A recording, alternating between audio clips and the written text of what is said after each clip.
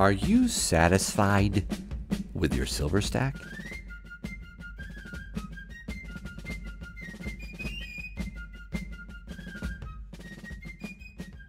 Hey everyone, thank you so much for watching Yankee Stacking. This video is primarily for the new stackers watching my channel.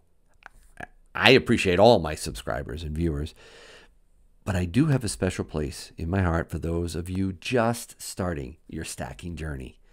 I get emails from you, you leave comments, you're you're just so excited about you know what you're starting to do. You, tell me about the you know the first American Eagle you got, the first bar, some constitutional silver. You got a zillion questions. It's really really cool, and I just wanted to make a video for you. This is the priority for this video. Are you satisfied with your silver stack? It's a challenging question. And before you just answer with a no, Yankee, what are you talking about? this is stupid. Why'd you ask that question? I'm going to just click on some cat video. Hear me out. Okay. And, and, and actually, it may be worth some silver to you if you do listen to me. So let's just clarify what I mean when I say, Are you satisfied? You know, what I'm really asking is Are you content with what you have in your silver stack? Content. It's not the same as complacent. Okay, those are those are two different things, and I'm going to explain uh, what what I mean by that in a bit. But what if you couldn't buy silver for five more years? The next time your stack grew was in 2025. Would you be okay with that? Frankly, what I, I, I see a lot of you, uh, you know, leaving in uh, comments on my channel is a little concerning to me. Sometimes I I, I, I hear things like um, I only have uh, X amount of ounces Yankee. Uh, it's really not a lot. Uh, or um, uh, I've had to stop buying so much due to my uh, financial circumstances, Yankee. I, I, I can't do it. Uh, here's one. I don't feel like I'm doing enough with my stacking. Or, or I'd love to do a video, Yankee, on my stacking progress, but you know it's it's it's small. I got I got some constitutional silver um, you know, a few quarters, a couple ounces here and there, but it's it's really small. It and this one just blows my mind. I I, I got this uh, from someone. I'm a teenager, and I just have a few silver eagles and a one ounce silver bar. A a teen, a teen stacking. I cannot tell you how inspired I am by that. That is that, that is so radical for a, a, a Gen Z to put his or her uh, hard-earned cash into silver. I mean, wow. You know, if I had um, thought uh, that way, you know, the ways I've described, I could tell you, I don't think I would have started my YouTube channel. No, in fact, I, I'm quite sure I wouldn't have. I don't think I would have felt uh, worthy enough, if you will, to, to discuss stacking. All right, let's just let's deal with this too. I think there may be some of you out there that say, "Yeah, but Yankee, what about the cannon?" Okay, fine. Let let's just put that aside. Let's forget about that. Let's ignore the fact that that represented a strategic move back in 09 based on you know decades of saving and a lot of frugal living. Okay, I, I, I wasn't born wealthy. I came from a middle class family. I had a you know they had a I had a single breadwinning father. I did get a degree. I, I, I got a good paying job after I graduated. But I had to live every day of my adult life on a strict budget.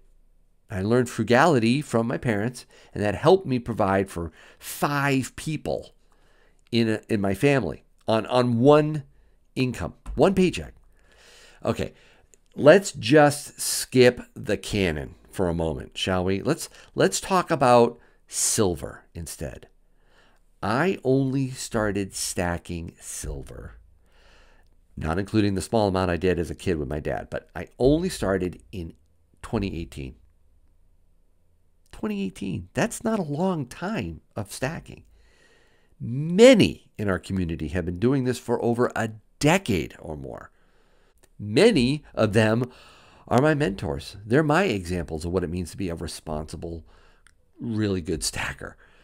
Now, with a few eagles and some constitutional silver, I could have easily been discouraged, even embarrassed when I started. I mean, come on. The community is full of whales. There's always somebody bigger than you, always some, you know, monster stacker out there that can that can lay out tons and tons of silver on a on on one or more tables, right? And those are amazing videos to watch. I watched a lot of them. I drooled a lot. But but rather than, you know, uh, being intimidated, rather than being jealous or frustrated, I chose to stack on a budget, one small purchase at a time. I had to negotiate with my better half. I had to explain the rationale to Mrs. Yankee, how I was not, you know, technically spending cash, but really converting it into real inflation resistant money. I told her that if I, you know, if we had an emergency, the silver could help us you know, and, and, and that was important for her to hear. If I had tried to use that same logic with, you know, me buying a new set of golf clubs or something, uh, yeah, that would have been a mistake. It, it just wouldn't have worked at all.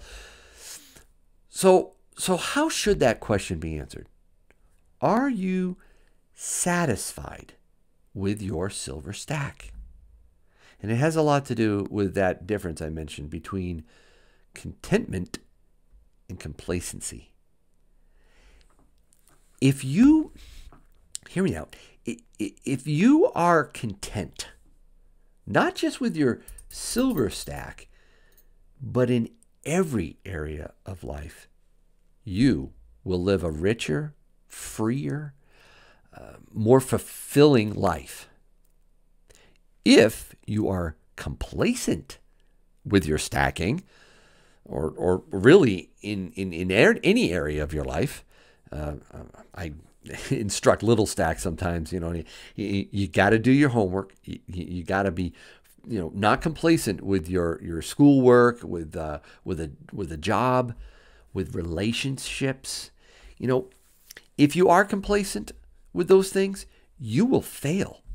You'll fail to achieve your goals. You'll fail to, to become wealthy especially in areas where it really counts. You'll fail to build uh, meaningful relationships. So I challenge you to understand the difference between being satisfied or content and being complacent. Don't be discouraged with your silver stacking progress. Really, don't be discouraged. Rather, be content with where you're at and what you have. Never be, you know, jealous of another man's stack. And realize it takes time. It takes it takes discipline, it takes focus, it takes a lot of things to reach your goals. Also remember that it's not just about reaching your goals. It's also about the lessons you learn and the people you meet and get to know, the people you connect with uh, it, it's about the journey, not just the goal. So I encourage you to prioritize what is really important with your life. And when it comes to precious metals, make sure you put this in the right place in life. Make it make sure it's you, you view precious metals in the right context. Be willing to set and reset your 2020 stacking goals.